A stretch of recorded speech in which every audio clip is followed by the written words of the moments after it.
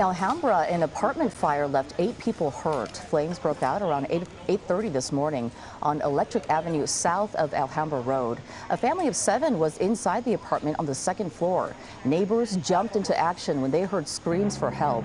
Everyone made it out. Eight people were taken to the hospital. Two of them, including a child, had serious injuries.